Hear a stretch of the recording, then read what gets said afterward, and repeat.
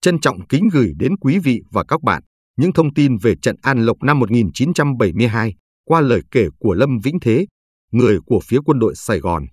Chúng tôi xin giữ lại nguyên bản nội dung của bài viết này. Kính mời quý vị và các bạn cùng theo dõi. Mùa hè 1972, chứng kiến một cuộc tổng tấn công dữ dội của các lực lượng cộng sản tại miền Nam với ba mặt trận. Quảng Trị ở ngay phía nam khu phi quân sự tại vùng 1. Con Tum trên cao nguyên trung phần thuộc vùng 2. Bình Long thuộc vùng 3. Trong phần này chúng tôi chỉ trình bày cuộc tử thủ của quân lực Việt Nam Cộng Hòa tại An Lộc, tỉnh lỵ của tỉnh Bình Long. Các đơn vị tham chiến của hai bên. Về phía Bắc Việt, có sự tham dự của các đơn vị sau đây. Ba công trường tức là sư đoàn 5, 7 và 9. Mỗi công trường gồm có 3 trung đoàn, công trường 5 với 3 trung đoàn 6, 174 và 275, công trường 7 với 3 trung đoàn 141, 165 và 209, công trường 9 với 3 trung đoàn 271, 272 và 95C, hai trung đoàn độc lập 101 và 205, sư đoàn pháo binh 69 gồm hai trung đoàn 42 và 208, trung đoàn phòng không 271, trung đoàn thiết giáp 203, trung đoàn vũ khí đặc biệt 202, toán đặc công 429. Về phía quân lực Việt Nam Cộng Hòa, có sự tham dự của các đơn vị sau đây. Sư đoàn 5 bộ binh, gồm hai trung đoàn 7, 8, trung đoàn 9 đã bị xóa sổ sau trận Lộc Ninh. Trung đoàn 52 của sư đoàn 18 bộ binh. Liên đoàn 3 biệt động quân, gồm 3 tiểu đoàn 31, 36 và 52. Các đơn vị địa phương quân và nghĩa quân của tiểu khu Bình Long. Về sau có thêm sự tăng viện của Lữ đoàn 1 nhảy dù, gồm 3 tiểu đoàn 5, 6 và 8, Liên đoàn 81 biệt cách dù, toàn bộ sư đoàn 21 bộ binh và trung đoàn 15 của sư đoàn 9 bộ binh. Sơ lược về vùng 3, tỉnh Bình Long và thị trấn An Lộc. Vùng 3 chiến thuật có lãnh thổ bao gồm 11 tỉnh của miền Đông Nam phần, thuộc trách nhiệm phòng thủ của quân đoàn 3, với 3 sư đoàn bộ binh, được phân bố như sau. Sư đoàn 5 bộ binh, với bộ tư lệnh đặt tại Lai Khê, chịu trách nhiệm 3 tỉnh Bình Dương, Bình Long và Phước Long. Sư đoàn 18 bộ binh, với bộ tư lệnh đặt tại Xuân Lộc, chịu trách nhiệm 5 tỉnh Biên Hòa, Bình Tuy, Gia Định, Long Khánh, Phước Tuy và đặc khu Vũng Tàu. Sư đoàn 25 bộ binh, với bộ tư lệnh đặt tại Đồng Du Củ Chi, chịu trách nhiệm 3 tỉnh Hậu Nghĩa, Long An và Tây Ninh. Tại thời điểm tháng 4 năm 1972, tư lệnh quân đoàn 3 là Trung tướng Nguyễn Văn Minh. Tướng Minh được bổ nhiệm vào chức vụ này trước đó hơn một năm. Vào ngày 23 tháng 2 năm 1971, sau khi Trung tướng, truy thăng Đại tướng Đỗ Cao Trí bị tử nạn trực thăng. Sư đoàn 5 bộ binh, chịu trách nhiệm tỉnh Bình Long, dưới quyền tư lệnh của chuẩn tướng Lê Văn Hưng, với tư lệnh phó là Đại tá Lê Nguyên Vĩ, gồm có 3 trung đoàn là Trung đoàn 7, với trung đoàn trưởng là Trung tá Lý Đức Quân, có bộ chỉ huy đóng tại Phú Giáo, Trung đoàn 8, với trung đoàn trưởng là Đại tá Mạch Văn Trường, có bộ chỉ huy đóng tại Dầu Tiếng. Trung đoàn 9, với trung đoàn trưởng là Đại tá Nguyễn Công Vĩnh, có bộ chỉ huy đóng tại Lộc Ninh. Tỉnh Bình Long là một tỉnh nằm về góc Tây Bắc của vùng ba chiến thuật, với dân số khoảng 60.000, phía Bắc và Tây Bắc giáp với Campuchia, phía Đông giáp với tỉnh Phước Long, phía Nam giáp với tỉnh Bình Dương và phía Tây Nam giáp với tỉnh Tây Ninh. Bình Long gồm có ba quận, phía Bắc là quận Lộc Ninh, ở giữa là quận An Lộc và phía Nam là quận Trơn Thành. Thị trấn An Lộc nằm trong quận An Lộc, là tỉnh lỵ của tỉnh Bình Long với dân số vào khoảng 15.000, cách Sài Gòn ở phía Nam vào khoảng 100 km. Trục giao thông chính của Bình Long là quốc lộ 13, chạy theo hướng Bắc Nam, từ biên giới Campuchia, xuyên qua các thị trấn Lộc Ninh, An Lộc, Tân Khai, Cầu Tàu Ô, Trơn Thành và Lai Khê thuộc tỉnh Bình Dương để về Sài Gòn. Trung quanh thị trấn An Lộc phần lớn là các đồn điền cao su chiếm một tổng diện tích khoảng 75.000 mẫu. Tỉnh trưởng Bình Long vào thời gian trận An Lộc là Đại tá Trần Văn Nhật, một sĩ quan gốc thủy quân lục chiến, với nhiều kinh nghiệm chiến trường. Về sau, Đại tá Nhật vinh thăng chuẩn tướng và được bổ nhiệm làm tư lệnh sư đoàn hai bộ binh. Sau khi được tin tình báo về các hoạt động mới nhất của các sư đoàn 5, 7 và 9 của Bắc Việt cho thấy, phe Bắc Việt có ý đồ mở một cuộc tấn công với quy mô lớn vào tỉnh Bình Long. Chuẩn tướng Lê Văn Hưng vừa được Tổng thống Nguyễn Văn Thiệu thăng cấp từ đại tá lên chuẩn tướng vào ngày 9 tháng 3 năm 1972. Tư lệnh sư đoàn 5 bộ binh của quân lực Việt Nam Cộng Hòa đã quyết định di chuyển bản doanh của sư đoàn 5 bộ binh từ Phú Lợi lên Lai Khê ở phía bắc tỉnh Bình Dương, gần ranh giới phía nam của tỉnh Bình Long, đồng thời cho đặt bộ tư lệnh tiền phương của sư đoàn 5 bộ binh ngay tại An Lộc dưới quyền chỉ huy của tư lệnh phó sư đoàn 5 bộ binh là đại tá Lê Nguyên Vĩ. Các đơn vị chính và tăng phái của sư đoàn 5 bộ binh được bố trí như sau. Trung đoàn 7 bộ binh tại Phú Giáo do Trung tá Lý Đức Quân chỉ huy, hoạt động dọc theo hành lang sông Bé ngăn chặn đường xâm nhập của Cộng sản Bắc Việt vào chiến khu D. Trung đoàn 8 bộ binh tại Dầu Tiếng quận Trị Tâm do Đại tá Mạch Văn Trường chỉ huy, hoạt động ngăn chặn các đoàn xâm nhập Cộng sản Bắc Việt từ biên giới Việt Miên, theo hành lang sông Sài Gòn tiến vào Bình Dương. Trung đoàn 9 bộ binh trừ một tiểu đoàn do Đại tá Nguyễn Công Vĩnh chỉ huy, được tăng phái thiết đoàn một kỵ binh trừ một chi đoàn do Trung tá kỵ binh Nguyễn Đức Dương chỉ huy, và tiểu đoàn 74 biệt động quân biên phòng, hợp thành chiến đoàn 9 bộ binh, trú đóng tại quận Lộc Ninh, tổ chức phòng thủ ngăn chặn địch từ đất miên, tiến đánh Việt Nam theo đường tiến sát quốc lộ 13. Trung đoàn 52 bộ binh trừ 1, gồm tiểu đoàn 2 trên 52 và tiểu đoàn 1 trên 48, do sư đoàn 18 bộ binh tăng phái và một pháo đội hỗn hợp, 105 ly và 155 ly, do Trung tá Nguyễn Bá Thịnh chỉ huy thiết lập căn cứ hỏa lực tại cầu Cần Lê, cách An Lộc 15 cây số, trên quốc lộ 13, để yểm trợ hỏa lực cho An Lộc, Lộc Ninh và căn cứ Tống Lê Trân. Bộ Tư lệnh Sư đoàn 5 bộ binh đóng tại Lai Khê. Bộ Chỉ huy Tiền phương Sư đoàn 5 hành quân đặt tại tỉnh Lị Bình Long do Đại tá Tư lệnh Phó Lê Nguyên Vĩ chỉ huy. Lý do An Lộc được chọn làm mục tiêu của trận đánh. Câu hỏi được đặt ra là tại sao An Lộc, tỉnh lỵ của tỉnh Bình Long, một tỉnh nhỏ, dân số ít và không có tiềm năng lớn về kinh tế lại đã được phe Bắc Việt chọn làm một trong ba mục tiêu chính cho cuộc tổng tấn công mùa hè 1972. Câu trả lời là Hòa đàm Paris bắt đầu họp từ năm 1968. Giữa các phe liên hệ sắp đi đến giai đoạn phải kết thúc. Phe Bắc Việt đã thành lập chính phủ cách mạng lậm thời Cộng hòa miền Nam Việt để đại diện cho mặt trận giải phóng miền Nam tại bàn hội nghị. Chính phủ này cần phải có một thủ đô và họ đã chọn An Lộc làm thủ đô đồng thời từ đó có thể dễ dàng tiến đánh vào Sài Gòn. Do đó phe Bắc Việt đã huy động một lực lượng rất lớn, quyết chiếm cho được An Lộc. Và cũng vì vậy, quân lực Việt Nam Cộng Hòa, bằng mọi giá, phải giữ cho được An Lộc. Ước tính quân số của các đơn vị phe Bắc Việt đã tham chiến trong thời gian trận tấn công vào An Lộc, tổng cộng vào khoảng trên 35.000 quân. Các trận đánh mở màn. Thật ra, trước khi trận An Lộc bắt đầu vào đầu tháng 4 năm 1972, tin tình báo được cung cấp cho MACV của Hoa Kỳ và Bộ Tổng tham mưu quân lực Việt Nam Cộng Hòa cũng như Bộ Tư lệnh Quân đoàn 3 và từ đó chuyển đến Bộ Tư lệnh Sư đoàn 5 Bộ binh, đều cho rằng tỉnh Tây Ninh sẽ là nơi mà phe Cộng sản muốn chiếm làm thủ đô cho chính phủ lâm thời Cộng hòa miền Nam Việt Nam. Ở cấp vùng chiến thuật, Thiếu tướng James Hollingsworth, cố vấn trưởng Hoa Kỳ tại vùng 3, chỉ huy Bộ Tư lệnh Viện trợ quân sự của vùng 3, trực tiếp cố vấn cho Trung tướng Nguyễn Văn Minh, Tư lệnh vùng 3, Đại tá William Miller là cố vấn trưởng Hoa Kỳ bên cạnh chuẩn tướng Lê Văn Hưng, tư lệnh sư đoàn 5 bộ binh. Vào đầu tháng 2 năm 1972, tình báo Hoa Kỳ nói chung và chắc nói riêng đều nghĩ và tin rằng Tây Ninh sẽ là mục tiêu của một cuộc tấn công lớn của phe Cộng sản tại vùng 3. Vì thế, trước khi mở màn trận An Lộc, ngày 2 tháng 4 năm 1972, hai trung đoàn Cộng sản có chiến xa và trọng pháo yểm trợ từ phần đất miên xâm nhập đánh phá liên tục vào các căn cứ Lạc Long cách Tây Ninh 35 cây số về phía tây bắc và căn cứ Thiện Ngôn khiến quân trú phòng thuộc sư đoàn 25 bộ binh phải lui quân. Họ tung tin sẽ đánh chiếm Tây Ninh làm thủ phủ cho mặt trận giải phóng miền Nam, khiến quân khu 3 phải điều toàn bộ sư đoàn 25 bộ binh phòng thủ giữ Tây Ninh và sư đoàn này mặc nhiên bị cầm chân tại đây. Chỉ sau khi phe Cộng sản mở cuộc tấn công Lộc Ninh với quy mô lớn thì các cấp chỉ huy của quân lực Việt Nam Cộng Hòa và MACV Trác mới thay đổi cách nhận định về ý đồ của cộng quân là quyết chiếm cho được An Lộc. Sáng sớm ngày 5 tháng 4 năm 1972, các đơn vị pháo của công trường 5 Cộng sản đồng loạt pháo kích dữ dội các vị trí phòng thủ của Trung đoàn 9, thuộc Sư đoàn 5 Bộ binh của quân lực Việt Nam Cộng Hòa cũng như trụ sở quận lỵ của quận Lộc Ninh. Tiếp theo trận pháo mở màn, hai trung đoàn 174 và 275 của công trường 5, cùng với 25 chiến xa tiến vào Lộc Ninh từ phía Tây tập trung tấn công vào bộ chỉ huy của Trung đoàn 9 Bộ binh tại đầu phía nam của phi trường. Các lực lượng của Trung đoàn 9 Bộ binh đã chống trả mãnh liệt các đợt tấn công của Cộng sản, bắn cháy được một chiến xa địch. Có lúc các pháo thủ của lực lượng phòng thủ Lộc Ninh đã hạ nòng súng của các khẩu pháo 105 ly và trực xạ vào các lực lượng bộ binh của địch xông ra từ các vườn cao su. Trong lúc trận chiến đang xảy ra ác liệt tại Lộc Ninh, thì tại Bộ Tư lệnh vùng 3 tại Biên Hòa, Cả hai tướng Minh và Hollywood đều đã thấy rõ là mục tiêu của cuộc tổng tấn công này là Bình Long rồi. Hoàn toàn không còn nghĩ và tin rằng Tây Ninh là mục tiêu nữa.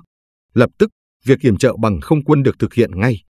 Các phi cơ của Hoa Kỳ, gồm các phản lực cơ A-37 của phi đoàn đặc vụ 8 từ Biên Hòa, các phi cơ khu trục phản lực của Hải quân Hoa Kỳ từ hàng không mẫu hạng Constellation, các phản lực cơ 4 và oanh kích AC-130 từ Thái Lan, cũng như các phi cơ khu trục A1 và phản lực F5 của không quân quân lực Việt Nam Cộng Hòa, được điều động đến yểm trợ liên tục cho các đơn vị quân lực Việt Nam Cộng Hòa đang chống trả cuộc tấn công dữ dội của các đơn vị cộng sản tại mặt trận Lộc Ninh. Việc kiểm trợ mặt trận Lộc Ninh còn được thực hiện bằng các phi vụ trực thăng Cobra của Trung đoàn 9 thuộc Sư đoàn 1 Kỵ binh không vận, gọi là Sư đoàn Anh Cà Đỏ. Chuẩn tướng Hưng và Đại tá Cố vấn Miller cũng lập tức lên trực thăng rời bộ tư lệnh Sư đoàn 5 bộ binh tại Lai Khê bay lên phía Bắc. Khi đến gần chân thành thì họ đã liên lạc được với các cố vấn Hoa Kỳ tại mặt trận Lộc Ninh.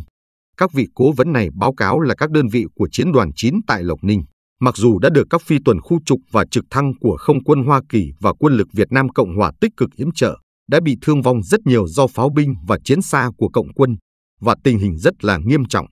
Đơn vị thiết giáp phòng thủ ở phía Bắc Lộc Ninh đã hàng địch. Các đơn vị biệt động quân và tiểu đoàn 2 của trung đoàn 9 đã mở đường máu rút về Lộc Ninh.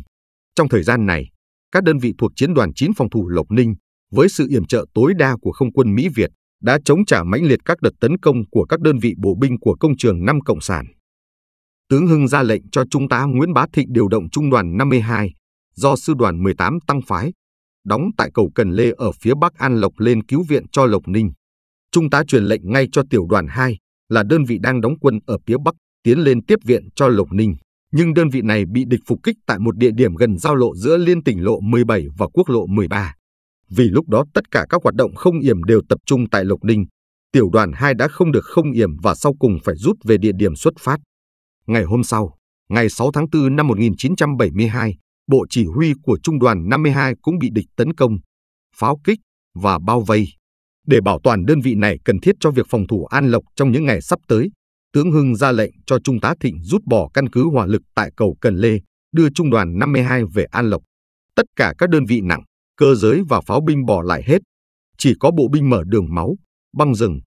Khi về đến An Lộc chỉ còn lại khoảng 600 quân nhân trên tổng số hơn 1.000 của trung đoàn. Sau nhiều đợt tấn công, và mặc dù bị thiệt hại rất nặng nề do sự chống trả rất mãnh liệt của các đơn vị phòng thủ Lộc Ninh cũng như do các phi vụ yểm trợ của không quân Mỹ, Việt, kể cả các phi vụ của phi cơ cường kích Mỹ AC-130 và sức tàn phá khủng khiếp của bom CBU-55. Sau cùng, các lực lượng của công trường 5 Cộng sản cũng phá được các tuyến phòng thủ của Trung đoàn 9 Bộ binh và tràn ngập Lộc Ninh. Đại tá Nguyễn Công Vĩnh, Trung đoàn trưởng Trung đoàn 9 Bộ binh và Trung tá Nguyễn Đức Dương, thiết đoàn trưởng thiết đoàn một kỵ binh bị địch bắt làm tù binh. Tất cả 7 cố vấn Mỹ được ghi nhận là mất tích. Thật ra, trừ Trung tá Richard Scott bị thương nặng đã hy sinh bằng cách tự sát để cho các thuộc hạ dễ dàng đào thoát.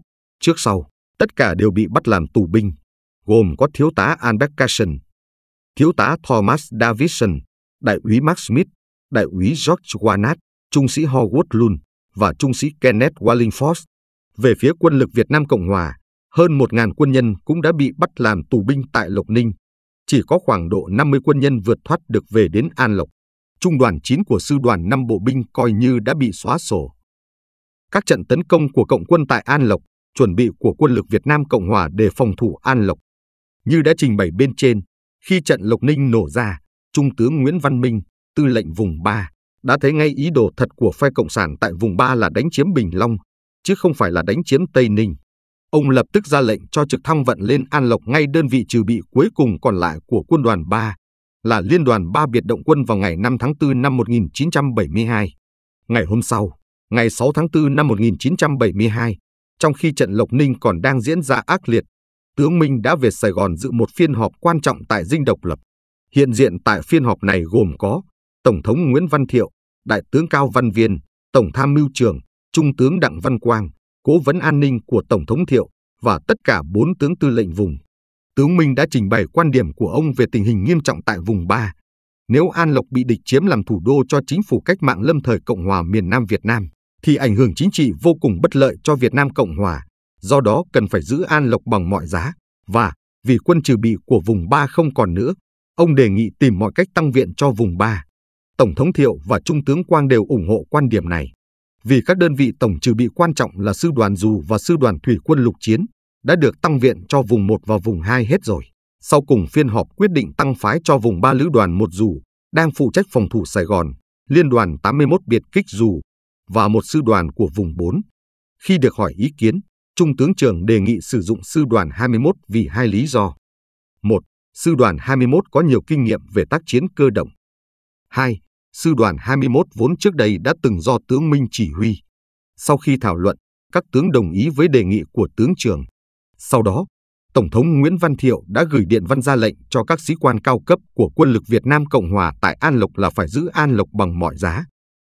Về phía sư đoàn 5 bộ binh, tướng Hưng ra lệnh cho Trung tá Lý Đức Quân lập tức rút trung đoàn 7 bộ binh, đang đóng quân tại Phú Giáo để bảo vệ hành lang sông Bé về phòng thủ An Lộc. Ông cũng quyết định chuyển bộ tư lệnh của sư đoàn, đã di chuyển từ Phú Lợi lên Lai Khê, nay chuyển lên đặt ngay tại An Lộc. Ngày 7 tháng 4 năm 1972, trước khi bay vào An Lộc, ông đáp xuống dầu tiếng, họp với Đại tá Mạch Văn Trường, Trung đoàn trưởng Trung đoàn 8, và thông báo cho Đại tá Trường về tình hình nghiêm trọng cần phải chống giữ An Lộc bằng mọi giá, về quyết định của ông đưa bộ tư lệnh sư đoàn 5 lên An Lộc và cho biết sư đoàn 5 không còn khả năng yểm trợ trung đoàn 8 nữa, nhưng yêu cầu đại tá trưởng cố gắng giữ vững vị trí đang đóng quân để tiếp tục án ngữ hành lang sông Sài Gòn. Ông cũng cho đại tá trường biết là kể từ giờ phút đó, trung đoàn 8 bộ binh của đại tá trường sẽ thực thuộc quân đoàn 3.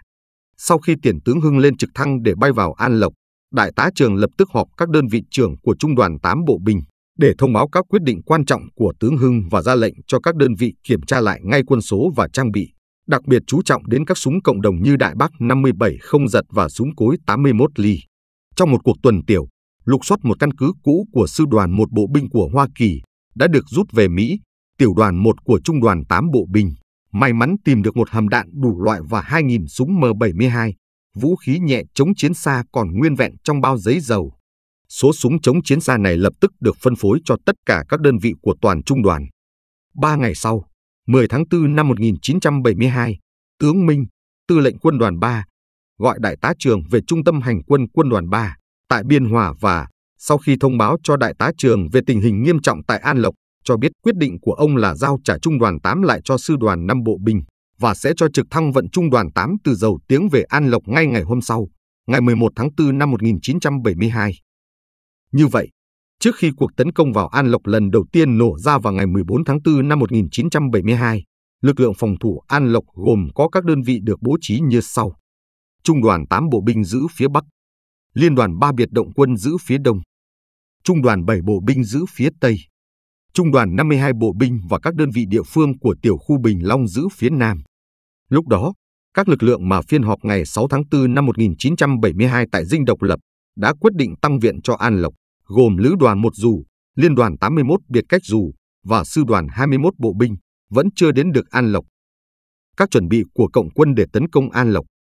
Về phía các đơn vị Cộng sản, sau khi chiếm xong Lộc Ninh, mục tiêu của họ bây giờ là tiến đánh An Lộc, thị trấn tỉnh lỵ của tỉnh Bình Long. Để chuẩn bị cho trận tấn công sắp tới vào An Lộc, họ phải thực hiện hai chuyện. Một bao vây An Lộc. Hai cắt các đường tiếp tế và tiếp viện cho An Lộc các đơn vị của công trường Nam Cộng sản được lệnh tiến về phía Nam để bao vây mặt Bắc của An Lộc. Phi trường của tỉnh Binh Long ở phía Bắc An Lộc và phi trường tại Quản Lợi, cách An Lộc 5 km về phía Đông Bắc, hai đường hàng không cần thiết cho việc liên lạc và tiếp tế cho An Lộc, bị pháo kích liên tục. Trung đoàn 7 bộ binh từ Phú Giáo rút về, đã giao cho một tiểu đoàn nhiệm vụ phòng thủ phi trường Quản Lợi. Đêm NGAIG 8 tháng 4 năm 1972, một số đơn vị của công trường Bình Long Cộng sản đã tấn công và tràn ngập phi trường này. Tiểu đoàn của trung đoàn 7 bị thiệt hại rất nặng đã phải rút lui về An Lộc.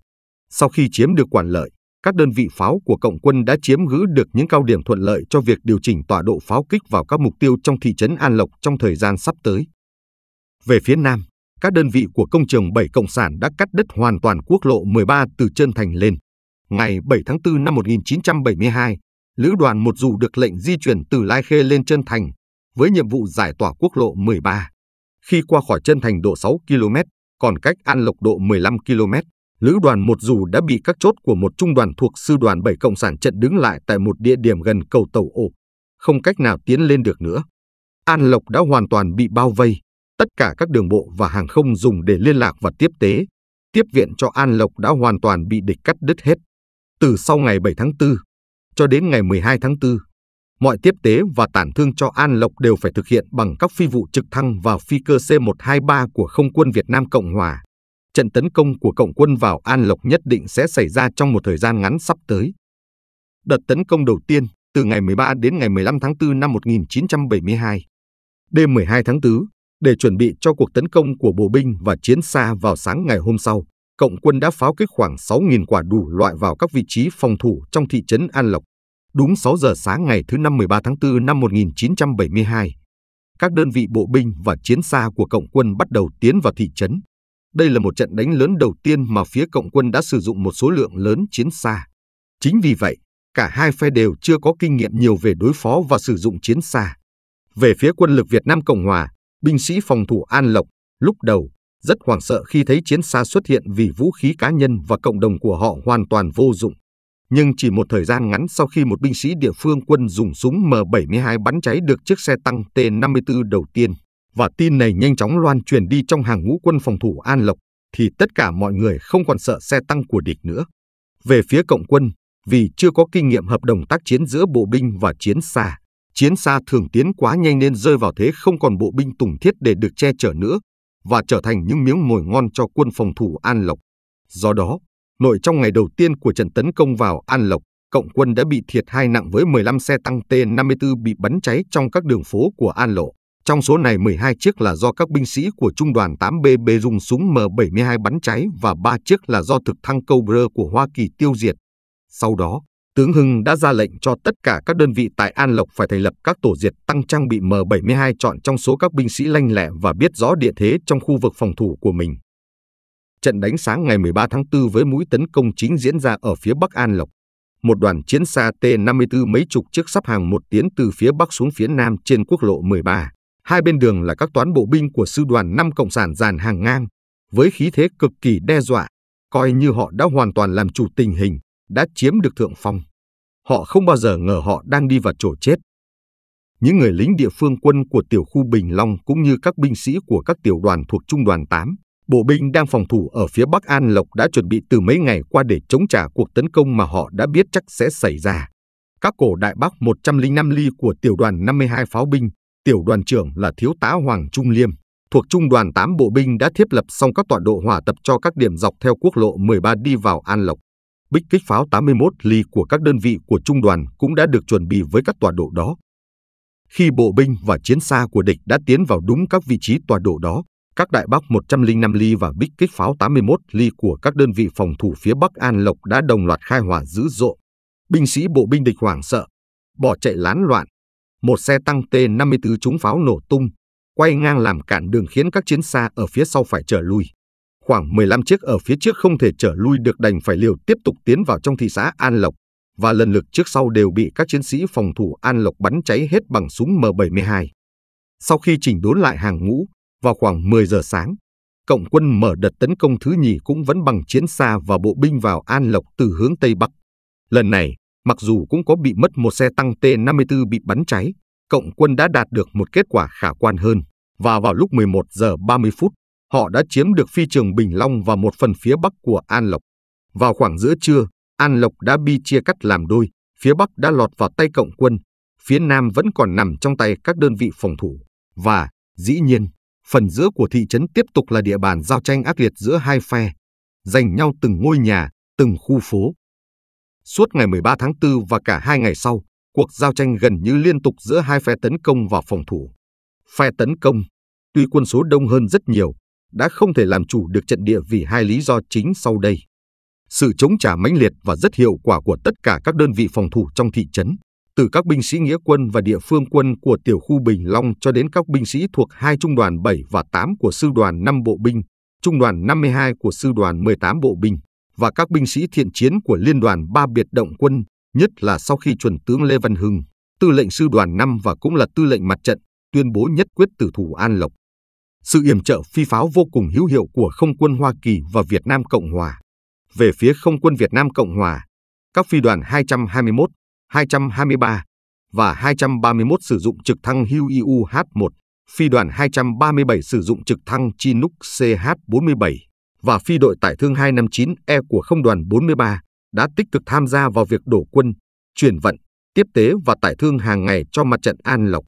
Về mặt yểm trợ chiến thuật cho các đơn vị bộ binh đang giao tranh với địch, các phi đoàn quan sát 112 và 124, các phi đoàn khu trục A1 Skyraider 514 và 518 của không đoàn 23 và phi đoàn 522 phản lực F5 Freedom Fighter của không đoàn 63, tất cả đều thuộc sư đoàn 3 không quân tại Biên Hòa, đã thực hiện các phi vụ oanh kích các đơn vị địch ngay trong lúc giao tranh tại mặt trận An Lộc. Tất cả các phi vụ yểm trợ cho mặt trận An Lộc này đều đã được thực hiện trong điều kiện vô cùng nguy hiểm vì hệ thống pháo phòng không dày đặc của địch.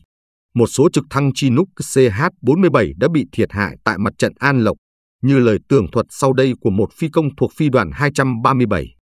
Tình hình chiến sự mỗi lúc một gia tăng và mãnh liệt nhất là trận An Lộc, mùa hè 72.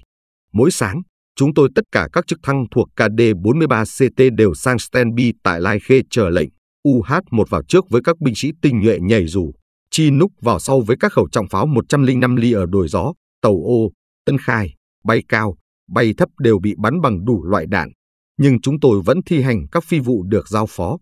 Hai Chinook đã tổn thất tại Tân Khai và tàu ô là phi đội của thiếu tá Nguyễn Hiếu Nhàn và thiếu úy Đặng Thiên Hiền, cơ trưởng trung úy Kim, áp tải, xạ thủ đều hy sinh. Đại úy TRONGVA thiếu úy Thanh bị bắt và được trao trả năm 73 nhưng cơ phi, xạ thủ và áp tải hy sinh. Một chi núc của Trung úy Lê Quang Tiên và Đặng Đức Cường bị bắn cháy trên không, phải đáp khẩn cấp xuống phi trường An Lộc và được gan ship bốc cứu. Phi cơ của Trung úy Son và tôi bị trúng một viên 12,7 ly thùng bình xăng trái nhưng vô sự, vì không phải đạn lửa và nhiều phi cơ khác bị đạn nhưng không đáng kể. Về phía không quân Hoa Kỳ, sự yểm trợ cho mặt trận An Lộc có thể nói là chưa từng có và với hiệu quả rất cao bằng đủ loại phi cơ và với số lượng phi vụ rất lớn. Oanh tạc cơ chiến lược B-52 xuất phát từ các căn cứ không quân Mỹ Utapau 52 chiếc tại Thái Lan và Anderson 31 chiếc trên đảo Guam. Hàng ngày thực hiện các phi vụ trải thảm trên các khu vực tập trung quân của địch chung quanh An Lộc. Mỗi phi vụ B-52 luôn luôn gồm 3 chiếc. Mỗi chiếc có thể mang một số lượng bom lên đến 70.000 cân Anh, tổng cộng vào khoảng 100 tấn bom. Khi một phi tuần gồm 3 chiếc B-52 trải thảm thì một khu vực có chiều ngang nửa dặm Anh và chiều dài hai dặm Anh sẽ bị hoàn toàn hủy diệt. Một điều cần được ghi nhận thêm là tính cách bất ngờ và kinh hoàng của việc B-52 trải thảm. Vì B-52 bay rất cao 10 km, nên địch quân hoàn toàn không nghe, không thấy. Khi đã nghe bom nổ thì không còn đường nào chạy thoát được nữa hết, chỉ có nằm chịu trận, phó mặc cho số mạng mà thôi. Phía Cộng sản cũng công nhận mức độ tàn phá của phi cơ B-52 như sau. Không quân Hoa Kỳ đã dùng B-52 để ném bom giải thảm dọn đường, ném bom tạo bãi đắp đổ quân cho các cuộc hành quân của kỵ binh bay, đánh vào các khu nghi ngờ tập trung quân và vào các khu hậu cần kho tàng của quân đội nhân dân Việt Nam và quân giải phóng miền Nam Việt Nam và đã gây ra các hủy diệt rất lớn, gây cảm giác rất ghê sợ, hãi hùng trong hàng ngũ đối phương và những người đã từng trải qua các trận bom B-52. Ngoài phi cơ B-52, không lực Hoa Kỳ cũng sử dụng nhiều loại phi cơ khác để yểm trợ cho mặt trận An Lộc như sau. Phi cơ phản lực khu trục A-37 Dragonfly Phi cơ yểm trợ hỏa lực AC-119 Stinger Phi cơ yểm trợ hỏa lực AC-130 Spectre Phi cơ trực thăng tấn công Cobra Các loại phi cơ này đã đóng một vai trò yểm trợ chiến thuật vô cùng hiệu quả cho mặt trận An Lộc. Chính các trực thăng Cobra, trong ngày đầu tiên của đợt tấn công này, đã bắn cháy ba chiếc tăng T-54 bằng hỏa tiền hít. Sang ngày 15 tư, cộng quân cố gắng tái diễn một cuộc tấn công, tiền pháo hậu sung, với bộ binh và chiến xa vào An Lộc một lần nữa nhưng kết quả cũng như trong hai ngày trước, đã bị chặn đứng bởi sức chống trả mãnh liệt của quân phòng thủ với sự yểm trợ áp đảo của không quân Việt Mỹ. Mức độ giao tranh trong thị trấn giảm dần và đến tối thì ngưng hẳn, kết thúc đợt tấn công đầu tiên giữa tháng 4 năm 1972 cộng quân đã chiếm được phần phía bắc của thị trấn An Lộc và quân lực Việt Nam Cộng Hòa vẫn còn giữ được phần phía nam của thị trấn. Để đạt được thế trận tạm thời này, cộng quân đã bị thiệt hại rất nặng về quân số và vũ khí. Riêng về lực lượng chiến xa, quân phòng thủ An Lộc đã bắn cháy được tất cả là 23 xe tăng, phần lớn là T-54 của Liên Xô. Về phía quân lực Việt Nam Cộng Hòa, toàn bộ đại pháo 105 ly trong thị trấn đã bị phá hủy. Tăng viện cho An Lộc trong vòng vây, con đường Nguyễn Trung Trực, một trong các con đường chính ở phía bắc của thị trấn An Lộc, chạy từ đông sang tây, là ranh giới giữa hai lực lượng tấn công và phòng thủ. Từ các vị trí đóng quân ở hai phía bắc nam con đường đó, binh sĩ hai bên có thể nhìn thấy và theo dõi hoạt động của đối phương trong một tình thế hết sức căng thẳng. Quân phòng thủ biết chắc chắn đối phương sẽ lại tấn công, chỉ không biết chắc ngày giờ nào mà thôi. Phần cấp chỉ huy của hai phe thì đây là thời gian để chuẩn bị cho cuộc giao tranh kế tiếp. Về phía cộng quân, họ phê bình kiểm điểm diễn tiến và thành quả của cuộc tấn công 3 ngày vừa qua. Họ ghi nhận tác động với hiệu quả cao của việc không quân Việt Mỹ yểm trợ chiến trường An Lộc, nhất là việc oanh kích vào các địa điểm tập trung quân trước cuộc tấn công. Họ cũng thấy rõ khuyết điểm lớn trong kế hoạch tấn công đợt một này là việc thiếu phối hợp chặt chẽ giữa bộ binh và thiết giáp. Và trên hết, họ tập hợp lại lực lượng cho đợt tấn công kế tiếp. Về phía quân lực Việt Nam Cộng Hòa, đây cũng là thời gian chấn chỉnh lại đội hình, sửa sang lại các công sự phòng thủ và, dĩ nhiên, mang viện quân vào An Lộc để tăng cường lực lượng phòng thủ. Ngay từ đầu tháng 4 năm 1972, khi trận Lộc Ninh nổ ra, Trung tướng Nguyễn Văn Minh, tư lệnh vùng 3, sau phiên họp khẩn tại Dinh Độc Lập, đã ra lệnh cho Lữ đoàn một dù đang phụ trách bảo vệ thủ đô Sài Gòn, với Lữ đoàn trưởng là Đại tá Lê Quang Lưỡng, về sau thăng lên chuẩn tướng và là tư lệnh cuối cùng của sư đoàn dù, gồm 3 tiểu đoàn 5, 6 và 8, lập tức di chuyển lên Lai Khê. Ngày 7 tháng 4 năm 1972, Lữ đoàn một dù bắt đầu cuộc hành quân từ Lai Khê lên Trân Thành, dọc theo quốc lộ 13, với mục tiêu là nhổ các chốt của công trường 7CS từ Trân Thành lên An Lộc. Khi qua khỏi Trân Thành độ 6 km về hướng Bắc, còn cách An Lộc khoảng 15 km, thì lực lượng dù bị chặn đứng lại tại suối Tàu Ô bởi cả một trung đoàn của công trường 7 với công sự hầm hố phòng thủ kiên cố đã được chuẩn bị sẵn. Ngày 14 tháng Tân năm 1972, Trung tướng Minh, sau cuộc họp tại Lai Khê với Trung tướng Dư Quốc Đống, tư lệnh sư đoàn dù và đại tá Lưỡng, quyết định cho lữ đoàn một dù vào tăng viện cho An Lộc. Đại tá Lưỡng bay lên An Lộc ngay để họp bàn với tướng Hưng về phương án đưa lữ đoàn một dù vào An Lộc. Phương án của ông đề nghị được tướng Hưng chấp thuận và cho thi hành ngay. Sau đó, Đại tá Lưỡng đã bàn chi tiết kế hoạch đổ quân này với Thiếu tá Nguyễn Văn ức, phi đoàn trưởng phi đoàn 221 trực thăng của không đoàn 43 chiến thuật thuộc sư đoàn 30 quân. Cuộc đổ quân toàn bộ lữ đoàn một dù hoàn thành tốt đẹp trong hai ngày 14 và 15 tháng 4, như tường thuật sau đây. Sau cuộc họp, Đại tá Lưỡng bay quan sát vị trí chân địa để chọn bãi đổ quân. Sau 5 vòng bay, vị sĩ quan lữ đoàn trưởng quyết định đổ quân xuống ấp Ton Cui, cách An Lộc 4 cây số về phía đông. Theo kế hoạch, tiểu đoàn 6 nhảy dù sẽ xuống trước để khai quang bãi đáp. Rồi ngày hôm sau, 15 tháng 4 năm 1972, hai tiểu đoàn 5 và 8 cùng bộ chỉ huy lữ đoàn một nhảy dù sẽ được trực thăng vận xuống khu vực này. Sau khi đã hoàn tất cuộc đổ quân, hai tiểu đoàn 5 và 8 sẽ chia làm hai cánh tiến quân vào An Lộc. Sau khi lữ đoàn một dù đã vào được An Lộc xong thì đến phiên liên đoàn 81 biệt cách dù, với liên đoàn trưởng là Trung tá Phan Văn Huấn, về sau thăng cấp đại tá, cũng được tướng Minh cho trực thăng vận vào tăng viện cho mặt trận An Lộc. Cuộc hành quân trực thăng vận này diễn ra ngày 16 tháng 4 năm 1972, cũng do phi đoàn 221 trực thăng thực hiện, với diễn tiến như sau.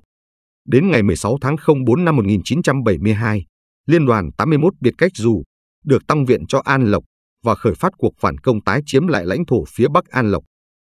Từng đoàn trực thăng HU-1D cất cánh từ căn cứ Lai Khê vào trưa ngày 16 tháng 04 năm 1972 đưa 550 biệt cách nhảy dù đến chiến trường An Lộc một cách an toàn. Bãi đổ quân được chọn trên một khoảng ruộng trống, về phía tây, tỉnh lộ 245, cách đồi GIO một cây số về phía đông bắc. Hợp đoàn trực thăng từng đợt 30 chiếc HU-1D cho mỗi đợt đổ quân, có 4 trực thăng võ trang hộ tống bao vùng. Đợt đầu thả bộ chỉ huy liên đoàn, do Trung tá Phan Văn Huấn chỉ huy và bốn toán trinh sát của Liên đoàn 81 biệt cách, do Trung úy Lê Văn Lợi chỉ huy, cùng đại đội 1 do đại úy Nguyễn Ích đoàn chỉ huy và đại đội 2 do đại úy Nguyễn Sơn chỉ huy. Chuyến thứ nhì gồm có liên đoàn phó, thiếu tá Nguyễn Văn Lân, cùng đại đội 3 do đại úy Phạm Châu Tài có biệt danh là Hồ Sám chỉ huy, và đại đội 4 do đại úy Đào Minh Hùng chỉ huy. Sau khi được an toàn nhảy xuống trận địa, kiểm điểm quân đầy đủ, Trung tá Huấn liền cho lệnh các đơn vị di chuyển đến chiếm cứ ấp Srogon, cận kề bên bãi đổ quân, bố trí xong xuôi. Trung tá Huấn mở tần số chuyến tin, liên lạc được với tướng Hưng Bộ Chỉ huy mặt trận và đại tá lưỡng lực lượng dù ở phía Nam để được hướng dẫn lộ trình an toàn cũng như tránh ngộ nhận giữa quân bạn trước khi tiến quân vào thành phố. Với các tăng viện này, quân số phòng thủ An Lộc tăng lên thêm được gần 3.000 quân, và quan trọng nhất là giúp cho lực lượng phòng thủ tại đây lên tinh thần rất nhiều vì cả hai đơn vị vừa được tăng viện đều là những đơn vị thiện chiến nhất của quân lực Việt Nam Cộng Hòa. Ngoài ra, Lữ đoàn một dù còn tạo ra được hai điều rất quan trọng cho An Lộc, thiết lập được một bãi đổ quân an toàn không những giúp cho việc tải thương mà còn tạo điều kiện tốt cho việc tiếp tế lương thực, đạn dược và đổ quân tiếp viện và mang được vào cho mặt trận An Lộc 6 khẩu đại pháo 105 rất cần thiết để yểm trợ cho các đơn vị phòng thủ. Vì vào thời điểm đó tất cả các khẩu pháo của quân phòng thủ An Lộc đã bị thiêu hủy hết rồi. Các đơn vị của quân lực Việt Nam Cộng Hòa đã sẵn sàng chờ đợi đợt tấn công mới của Cộng quân. Họ không phải chờ lâu. Đợt tấn công thứ hai, từ ngày 19 đến ngày 22 tháng 4 năm 1972. Cũng giống như tất cả mọi cuộc tấn công của Cộng quân từ trước, luôn luôn áp dụng chiến thuật tiền pháo hậu sung. Đêm 18 tháng 4, dạng sáng 19 tháng 4, các đơn vị pháo của công trường 9 đã rót hàng ngàn quả đại pháo và hỏa tiền vào các vị trí của quân phòng thủ An Lộc và cuộc tấn công bằng chiến xa và bộ binh bắt đầu ngay vào sáng sớm ngày 19 tháng 4. Có mấy điều cần ghi nhận về đợt tấn công này. Điều thứ nhất là vì đã chiếm được nửa phía bắc của thị trấn trong đợt 1. Phe Cộng sản nghĩ và tin chắc là với đợt tấn công lần thứ nhì này họ sẽ nuốt trọn An Lộc. Vì vậy, Đài Phát thanh Hà Nội đã công bố là An Lộc đã được hoàn toàn giải phóng và chính phủ cách mạng lâm thời Cộng hòa miền Nam Việt Nam sẽ chính thức ra mắt tại An Lộc vào ngày 20 tháng 4 năm 1972. Điều thứ nhì là đợt tấn công này, tuy cũng xảy ra tại nhiều địa điểm trong thị trấn An Lộc, nhưng rõ ràng là tập trung vào các địa điểm đóng quân của lực lượng mới tăng viện cho An Lộc là lữ đoàn một dù, với mục tiêu là diệt cho được đơn vị thiện chiến này để làm mất tinh thần của quân phòng thủ An Lộc. Trung đoàn 275 của công trường 5 và Trung đoàn 141 của công trường 7, với sự hỗ trợ của 6 chiến xa, đã đồng loạt tấn công vào các vị trí đóng quân của lữ đoàn một dù tại đồi gió, đồi 169 và ấp Sóc Ton Cui. Đơn vị chịu áp lực nặng nề nhất của lữ đoàn một dù là tiểu đoàn 6 tại đồi gió với tiểu đoàn trưởng là Trung tá Nguyễn Văn Đĩnh đổi gió cũng chính là căn cứ hỏa lực với 6 khẩu đại bắc 105 ly của lữ đoàn một dù. Trước áp lực quá nặng của địch quân, đại tá lưỡng cho phép Trung tá Nguyễn Văn Đĩnh, tiểu đoàn trưởng tiểu đoàn 6 nhảy dù, được toàn quyền quyết định về kế hoạch triệt thoái. Trung tá Đĩnh cùng với hai đại đội 60 và 62 di chuyển theo ngọn đồi xuống ấp Sóc Ton Cui, nơi đóng quân của đại đội 61. Trong khi đó, hai đại đội 63 và 64 còn lại do thiếu tá Phạm Kim Bằng chỉ huy vẫn tiếp tục án ngữ cao địa. Cánh quân do Trung tá Đĩnh chỉ huy bị cộng quân chặn đánh. Những binh sĩ nhảy dù này đổi hướng và triệt thoái về hướng Nam. Sau đó, họ được trực thăng của không quân Việt Nam bốc về Lai Khê. Cánh quân còn lại của tiểu đoàn 6 nhảy dù và bộ chỉ huy lữ đoàn rút vào An Lộc. Riêng pháo đội Đại Bắc 105 ly với 6 khẩu được lệnh phá hủy tất cả súng trước khi rút lui. Mặc dù đạt được một phần mục tiêu là triệt tiêu được căn cứ hỏa lực của lữ đoàn một dù với 6 khẩu 105 ly và buộc tiểu đoàn 6 phải rút khỏi đồi gió, nhưng cộng quân đã không tiêu diệt được lữ đoàn một dù. Lữ đoàn một dù đã bảo toàn được lực lượng và di chuyển an toàn vào bên trong An Lộc. Ngoài ra, trong cuộc giao tranh tại khu vực này, toàn bộ 6 chiến xa của cộng quân đã bị lực lượng dù bắn cháy hết. Trong thời gian này, các cuộc tấn công của các đơn vị của công trường 9 tại các địa điểm khác bên trong An Lộc đều bị các lực lượng phòng thủ đẩy lùi. Phần phía nam của thị trấn An Lộc vẫn hoàn toàn nằm trong sự kiểm soát của các đơn vị phòng thủ. Ngày 20 tháng 4 qua đi, mục tiêu của đợt tấn công lần thứ nhì này của Cộng quân chiếm An Lộc để làm thủ đô cho chính phủ cách mạng lâm thời Cộng hòa miền Nam Việt Nam đã thất bại. Ngày 21 tháng 4, Cộng quân còn cố gắng tấn công một lần nữa từ phía Nam nhưng cũng hoàn toàn thất bại do sự chống trả mãnh liệt của hai tiểu đoàn 5 và 8 của lữ đoàn một dù. Đợt tấn công An Lộc lần thứ nhì này kết thúc vào tối ngày 22 tháng 4 năm 1972. Địa ngục trần gian tại An Lộc An Lộc, trong suốt thời gian bị cộng quân bao vây, đã được một ký giả Mỹ mô tả như là một địa ngục trần gian trong bài báo của tờ báo quân đội Pacific Stars and Stripes, số ra ngày 1 tháng 5 năm 1972, với tựa đề như sau, An Lộc địa ngục Trần gian An Lộc, với một diện tích khoảng 4 km vuông, đã phải gánh chịu mỗi ngày trên 1.000 quả đạn dù loại, từ dại bóc 105 ly, 155 ly, bích kích pháo và hỏa tiền 122 ly. Đó là không kể có những ngày luôn luôn xảy ra trước những đợt tấn công dữ dội của chiến xa và bộ binh. Mức độ pháo kích lên đến năm 26.000 quả, và đặc biệt, vào ngày 11 tháng 5 năm 1972, An Lộc phải chịu một trận mưa pháo trên 8.000 quả được các phóng viên chiến trường quốc tế mô tả là khốc liệt nhất trong toàn bộ cuộc chiến tranh Đông Dương. Với mức độ pháo kích như vậy, cộng thêm vào các trận đánh ác liệt ngay trong thị trấn. Có chiến xa tham dự bên phe tấn công và có đủ loại phi cơ yểm trợ bên phe phòng thủ. Gần như không có một ngôi nhà nào còn nguyên vẹn. Nếu không bị sụp đổ tan nát thì cũng bị thiệt hại rất nặng nề, như trong bức ảnh bên dưới đây. Vì họ đã chiếm được những vị trí cao điểm trung quang thị trấn, như phi trường Quản Lợi, đồi Đồng Long ở phía Bắc, đồi Gió và đồi 169 ở phía Đông Nam. Pháo binh của Cộng quân đã pháo vào thị trấn rất chính xác. Một sĩ quan cố vấn Hoa Kỳ có mặt tại An Lộc đã cho rằng khả năng sống sót nếu ở ngoài trời trong vòng 5 phút là vào khoảng 50%. Trong điều kiện chiến trường như vậy, tất cả mọi người trong thị trấn An Lộc, cả quân lẫn dân, đều phải sống trong hầm, đủ loại hầm, từ các hầm thật kiên cố như hầm của các bộ chỉ huy trung đoàn, lữ đoàn, sư đoàn, cho đến các hầm thật sơ sài của thường dân. Mặc dù vậy, số thương vong của thường dân và binh sĩ do pháo kích cũng không phải là nhỏ. Xác chết, kể cả xác súc vật, ngổn ngang khắp nơi. Tay chân bị đứt lìa do các mánh pháo chặt đất văng tứ tung, một số nằm vương vải ngay cả trên các cành cây còn chưa bị gãy đổ trong thị trấn. Một phần khá lớn những xác chết này không được chôn cất nên, sau một thời gian, đã xình thúi, gây ô nhiễm không khí rất khủng khiếp. Trước khi xảy ra trận đánh, An Lộc có một dân số khoảng 15.000. Sau khi Lộc Ninh thất thủ, với cư dân của Lộc Ninh thoát chạy được về phía Nam, người ta ước lượng dân số của An Lộc trong thời gian bị bao vây có thể lên gần 20.000. Dĩ nhiên, người dân cũng biết rằng An Lộc sẽ là mục tiêu tấn công kế tiếp của Cộng quân, nhưng họ không thể thoát ra khỏi An Lộc được vì quốc lộ 13 đã bị cắt đứt rồi. Trong thời gian hai bên giao tranh, các vị lãnh đạo công giáo và Phật giáo đã có mấy lần tìm cách đưa giáo dân rời khỏi An Lộc nhưng lần nào cũng vậy. Cộng quân đều pháo kích vào đoàn người di tản, gây thương vong rất lớn. Ta hãy nghe một sĩ quan của liên đoàn ba biệt động quân tả lại cảnh tượng kinh hoàng này. Có một ngày vào buổi sáng, khi ngớt pháo, tôi vừa chui lên nóc trung tâm hành quân để quan sát chung quanh thì thình lình. Tôi nghe tiếng loa phóng thanh phát lên yêu cầu hai bên ngưng chiến. Loa phóng thanh được phát ra từ một đoàn người rất đông và rất dài, dẫn đầu bởi các nhà sư và các cha công giáo với cờ trắng trên tay phất qua phất lại. Lúc đó, thiếu tá Lạc, tiểu đoàn trưởng 36 biệt động quân vừa gặp trung tá Lê Đình Thọ xong. Nghe la hét cũng đến gần tôi trên nấp hầm trung tâm hành quân để quan sát. Đoàn người đi trên con đường trước mặt vào hướng đông, tiến về hướng nam định rẽ qua QL13 để di tản về hướng nam.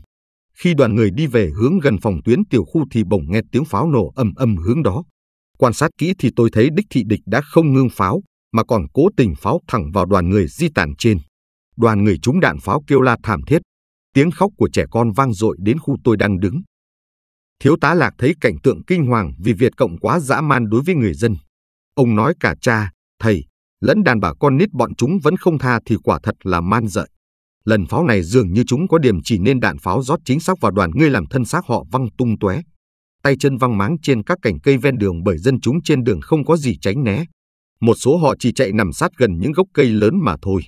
Sau đợt pháo đó, dân chúng và cả cha lẫn thầy đều tan hàng trở về chốn cũ của mình. Người dân An Lộc cũng như người tị nạn từ Lộc Ninh chạy về không còn cách nào khác, đành phải tìm mọi cách sống còn cùng với các binh sĩ phòng thủ trong địa ngục trần gian này. Vì đường giao thông và tiếp tế chính cho An Lộc là quốc lộ 13 đã bị cắt đứt ở phía nam, và các phi trường cũng đã lọt vào tay địch, An Lộc chỉ còn được tiếp tế bằng cách thả dù. Tuy nhiên, vì hệ thống phóng không dày đặc của địch, việc tiếp tế bằng cách thả dù do các phi cơ vận tải đã gặp rất nhiều khó khăn. Phải thả các kiện hàng tiếp tế từ cao độ 5.000 bộ hay có khi còn cao hơn nữa. Trong đợt tấn công đầu tiên, sau khi thực hiện tất cả 27 phi vụ trong vòng 48 giờ, chỉ có 34 trong số 135 tấn tiếp tế lọt được vào tay quân phòng thủ mà thôi. Tình trạng thiếu thốn lương thực và mọi thứ là một thực trạng kéo dài suốt thời gian mấy tháng của trận đánh. Dân và quân An Lộc cùng sống chung với nhau trong hầm và cùng chia sẻ với nhau từng miếng ăn thức uống. Chưa bao giờ, trong suốt thời gian 20 năm của cuộc chiến, tình quân dân cá nước thắm thiết như vậy. Việc chữa trị thương tích cho thường dân và chiến sĩ mỗi ngày mỗi thêm khó khăn vì không những bệnh viện của tiểu khu Bình Long đã bị pháo kích phá hủy hoàn toàn mà ngay cả thuốc men, vật dụng, y cụ cũng đều khan hiếm. Các bác sĩ phải sử dụng đến cả các sợi ni lông rút ra từ bao cát, sau đó cho đun nước sôi khử trùng để làm chỉ khâu may các vết thương sau khi giải phẫu.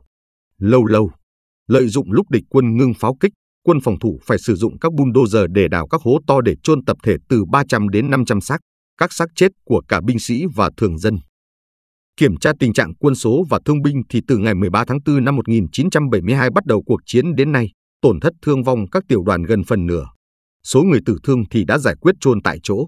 Số bị thương thì tồn động rất nhiều vì ngày nào cũng có nhiều thương binh nhưng không tàn thương được. Vì thế, quân y tạm thời giải quyết như sau, số người bị thương nhẹ còn đi đứng được thì sau khi băng bó xong cho trở về đơn vị, địch vào cầm súng bắn nữa. Do đó có người bị thương hai hoặc ba lần hoặc nhiều lần. Có người lần trước bị thương nhẹ, lần sau bị thương nặng. Cũng có những thương binh nhẹ sau đó lại tử thương. Còn những thương binh nặng để nằm đó chờ tản thương sống thoi thóp rồi có người mòn mỏi chết dần. Đại đội 52 quân y báo cáo khu vực trung đoàn 8 có cả ngàn quân nhân và thường dân bị thương nặng chờ tản thương nằm chật cả một dãy phố đại lộ Hoàng Hôn. Những người còn lành mạnh thì rất mệt mỏi và gầy ốm vì phải chiến đấu hết ngày này sang ngày khác, không thì giờ nghỉ ngơi, thiếu ngủ, thiếu ăn, tinh thần lúc nào cũng căng thẳng, sinh mạng không biết sẽ chết lúc nào. Lại nữa mùi hôi thối từ xác chết rất khó thở, ruồi lằn sinh sản nhanh kinh khủng. Nước không đủ uống, lấy đâu mà tắm giặt, dơ bẩn, khó chịu. Nhưng họ cũng phải dáng chịu, phấn đấu sống để mà chiến đấu, để bảo vệ quê hương và dân tộc không lọt vào tay Cộng sản. Đợt tấn công lần thứ ba, từ ngày 11 đến ngày 15 tháng 5 năm 1972. Sau khoảng hơn 2 tuần lễ chấn chỉnh hàng ngũ, bổ sung quân số và tái trang bị, tiếp tế, Cộng quân lại tung ra một đợt tấn công nữa vào sáng ngày 11 tháng 5 năm 1972. Một ngày trước đó, về phía cố vấn Mỹ có một thay đổi quan trọng, Đại tá Miller, cố vấn trưởng bên cạnh tướng Hưng, hết nhiệm kỳ phục vụ tại Việt Nam và được thay thế bởi Đại tá Walter Almer, một sĩ quan tốt nghiệp trường võ bị West Point nổi tiếng, có kinh nghiệm và đã từng phục vụ hai nhiệm kỳ một năm tại Việt Nam. Việc thay đổi này có ảnh hưởng tốt cho mối quan hệ với tướng Hưng vì, khác với Đại tá Miller, Đại tá Almer là một người bình tĩnh hơn, tế nhị hơn và thông cảm hơn. Đúng 4 giờ 30 phút sáng ngày 11 tháng 5 năm 1972, trận pháo kích dữ dội vào An Lộc suốt từ 1 giờ sáng đột ngột chấm dứt, quân phòng thủ biết ngay là cuộc tấn công bằng bộ binh sắp sửa bắt đầu. Và đúng như vậy, các đơn vị bộ binh của công trường 5 khởi sự tấn công từ phía Bắc, trong khi bộ binh của công trường 9 tấn công từ phía Tây, với sự yểm trợ của 40 chiến xa. Cuộc giao tranh lại tái diễn với hình thức và cường độ như hai lần trước. Một chuyện mới trong đợt tấn công này là cộng quân bắt đầu sử dụng hỏa tiền tầm nhiệt địa không SA-7 Strela do Liên Xô chế tạo để chống lại các phi cơ yểm trợ chiến thuật của không quân Việt, Mỹ, đặc biệt là nhắm bắn hạ các trực thăng gunship Cobra. Ở phía Bắc, Trung đoàn 8 Bộ binh và Liên đoàn 81 biệt cách dù bị áp lực rất nặng từ các đơn vị của công trường 5, nhưng họ vẫn bám trận địa, chống trả dữ dội. Về phía Tây, Trung đoàn 7 bộ binh cũng bị các đơn vị của Trung đoàn 272 của công trường 9 tấn công dữ dội. Lực lượng phòng thủ bắn cháy được hai chiến xa, nhưng bộ binh địch vẫn tràn tới, tiến gần đến bộ chỉ huy của sư đoàn 5 bộ binh của tướng Hưng tiểu đoàn 3 của Trung đoàn 7 BB phải rút lui để bảo toàn lực lượng. Tình hình An Lộc lúc đó thật là nguy ngập. Tướng Hưng ra lệnh cho tiểu đoàn 5 dù từ phía Nam tiến lên để giải vây cho bộ chỉ huy sư đoàn 5. Trong cuộc điện đàm ngay lúc đó với đại tá trường, Trung đoàn trưởng Trung đoàn 8 bộ binh ở phía Bắc, tướng Hưng đã nói như sau. Nếu địch tràn ngập bộ tư lệnh sư đoàn 5 trước khi tiểu đoàn dù tới thì tôi sẽ tự sát chứ không để cho địch bắt. Vậy khi tôi chết rồi thì anh dắt trung đoàn 8 đi theo liên đoàn 81 biệt cách dù rút về Trơn Thành. Thật vô cùng may mắn, ngay lúc đó, lực lượng tấn công đã phạm một sai lầm lớn. Các đơn vị của trung đoàn 272, công trường 9, thay vì tràn xuống phía đông nam, họ lại đã tiến lên phía đông bắc, tấn công, tràn ngập và chiếm được trụ sở của ti công tránh tỉnh Bình Long. Sau đó, nhờ tiểu đoàn 5 dù từ phía nam lên, một tiểu đoàn BD quy từ phía đông sang, và đại đội 8 trinh sát của trung đoàn 8BB từ phía bắc xuống, bộ chỉ huy sư đoàn 5 đã được an toàn. Trong thời gian này, dưới sự điều động của tân cố vấn trưởng đại tá An Mờ, các phi vụ yểm trợ chiến thuật cho An Lộc đã được gia tăng lên rất nhiều. Nội trong ngày 11 tháng 5, đã có tất cả 297 phi vụ yểm trợ chiến thuật được thực hiện trên không phận An Lộc. Sau đó, trong 4 ngày kế tiếp, mỗi ngày đều có khoảng 260 phi vụ yểm trợ cho An Lộc. Về máy bay chiến lược B-52, nội trong 24 giờ của ngày 11 tháng 5 đã có tất cả 30 phi vụ, trong đó bao gồm cả 5 phi vụ B-52 mà tướng Hollingsworth đã vay mượn từ vùng 2. Lần này, các phi vụ B-52 đã trải thảm một cách chính xác ngoài sức tưởng tượng, có khi chỉ cách các lực lượng phòng thủ chừng vài trăm mét mà thôi. Một trong các phi vụ B-52 này đã kịp thời giải nguy cho Liên đoàn 81 biệt cách dù ở phía đông bắc khi Liên đoàn sắp bị một trung đoàn của công trường năm tràn ngập. B-52 đã trải thảm lên trung đoàn này chỉ cách vị trí của Liên đoàn 81 có khoảng 500 mét. trung đoàn này của công trường năm cảnh sát coi như đã bị xóa sổ. Đến chiều ngày 11 tháng 5 thì có thể xem như đợt tấn công vào An Lộc lần thứ ba này của cộng quân đã hoàn toàn thất bại. Họ đã không thể chiếm được An Lộc. Phần lớn số 40 chiến xa của họ đã bị tiêu hủy bên trong thị trấn, với một số vẫn còn nguyên. Nhưng các binh sĩ thiết giáp đã bỏ chạy thoát thân. Các đơn vị bộ binh đã bị các đơn vị phòng thủ và các phi vụ yểm trợ chiến thuật đánh tan tác. Số tàn binh hoảng sợ cực điểm trước các trận bom của không quân Việt Mỹ đã hoàn toàn mất tinh thần, bỏ hàng ngũ, chạy tán loạn vào các khu rừng cao su chung quanh thành phố, và một số lại làm mồi cho các phi vụ trải thảm của máy bay B-52. Những ngày sau đó, Cộng quân vẫn còn tiếp tục mở những cuộc tấn công vào An Lộc nữa nhưng họ đã hoàn toàn mất đà rồi. Tối ngày 15 tháng 5, toàn bộ các lực lượng tấn công còn lại của Cộng quân rút hết ra khỏi An Lộc. Đợt tấn công lần thứ ba này đã hoàn toàn bị bẻ gãy, nhưng trận chiến vẫn chưa tàn vì Cộng quân vẫn còn bám trụ tại những phần đất họ đã chiếm được chung quanh thị trấn An Lộc. Quân lực Việt Nam Cộng Hòa phản công và phá vòng vây An Lộc. Về phía Bắc, ngày 10 tháng 6, Liên đoàn 81 biệt cách dù, mặc dù có tỷ lệ thương vong khá cao, đã tiến hành việc lục soát và tiêu diệt tất cả các ổ kháng cự của cộng quân trong các khu phố đã bị họ chiếm giữ trước đây.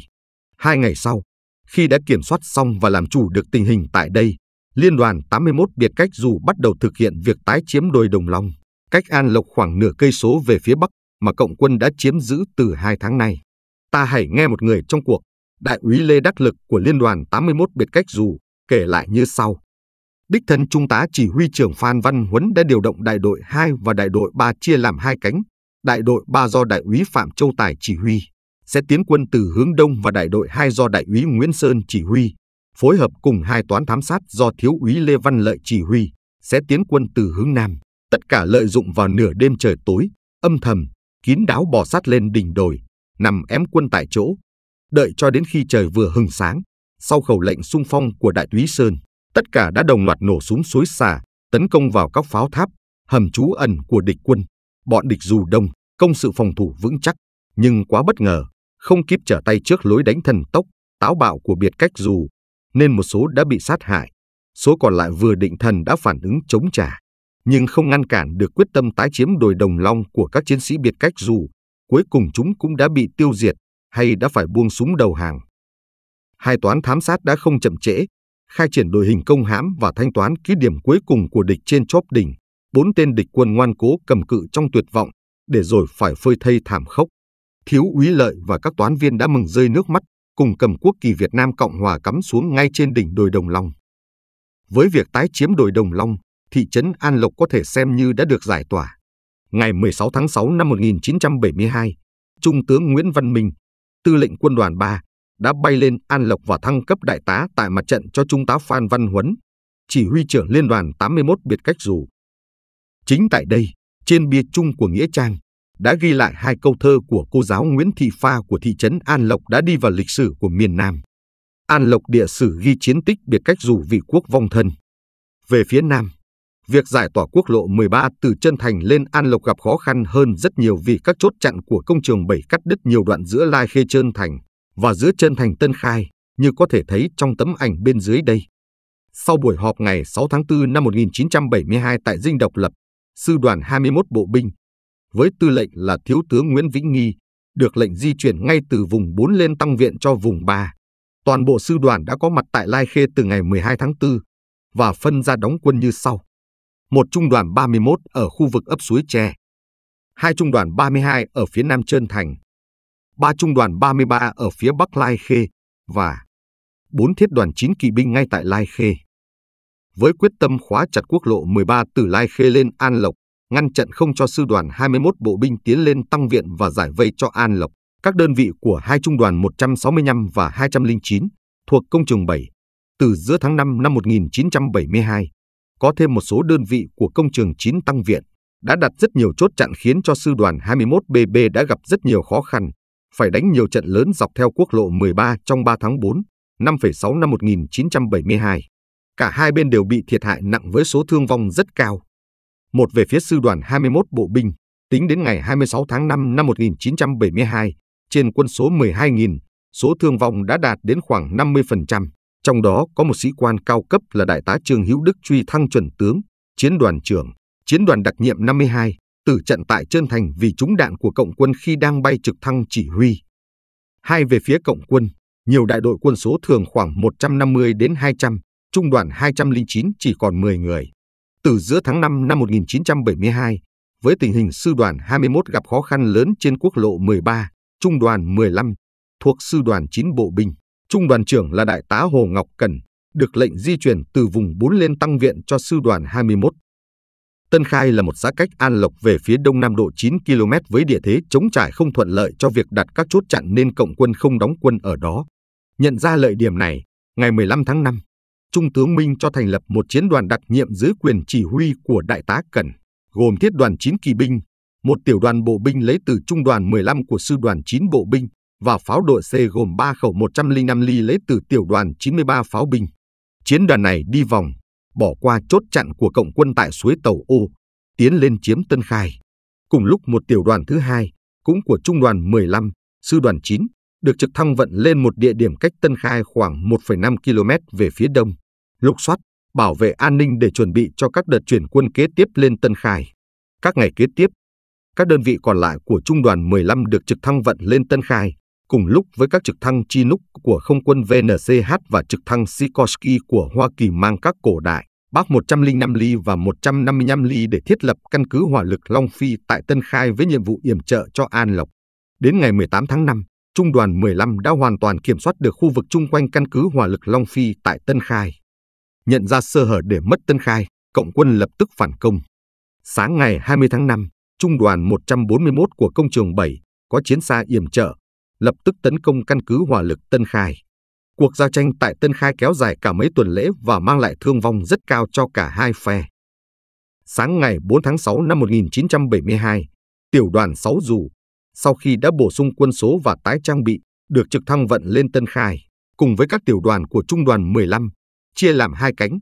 Hành quân giải tỏa quốc lộ 13 từ Tân Khai lên An Lộc.